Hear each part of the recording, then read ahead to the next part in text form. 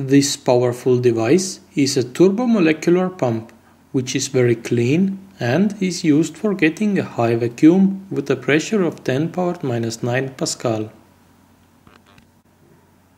The pump usually needs a low vacuum to start working, which can be achieved with a pre-vacuum pump. Once the vacuum chamber's pressure is sufficiently low, the leftover gas enters the turbomolecular pump through a wide opening.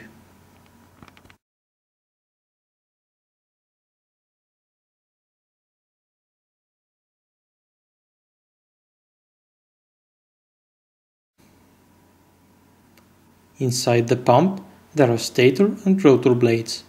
While the rotor blades are rotating with incredible speeds up to 90,000 rotations per minute, the stator blades are still.